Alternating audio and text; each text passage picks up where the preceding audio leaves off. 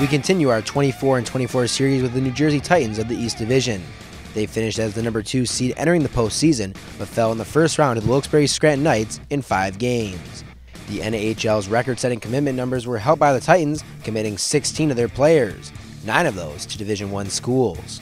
Well, I think it speaks volumes about the North American League and what separates us from the rest. Uh, the investment by the ownership group to, to, not only make the players better, but also the coaches and the league. I think it stands out and, and truly brings us true. So, really proud to be here. Happy the inter, uh, interaction and networking was second to none. And I think the rest of the hockey world realizes how serious we are about our hockey. In order to reload for the 2018 19 season, the draft and camp process can be summed up in one word for New Jersey it's huge. I mean, the draft process for us, we've had a lot of success in New Jersey since I've been there.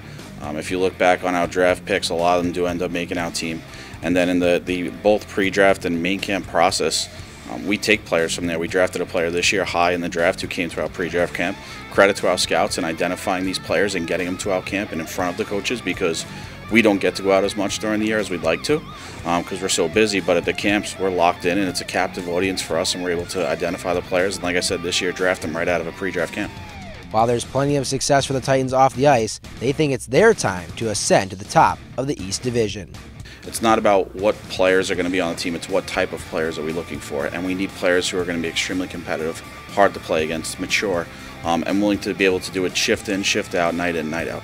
If you look back at, in our division, um, the Rebels have done really well. Wilkes-Barre came out on top last year, and as a coach, I can't sit here and, and, ignore the facts of what they've done. Those kids have played really hard. They've been hard to play against, rose to the occasion at the playoffs, but nevertheless, for us, we haven't achieved that yet, and we have to get there. So, more importantly than the specific player name, is the specific player type that we need to be successful moving forward. New Jersey begins their season against the Maryland Black Bears on September 14th.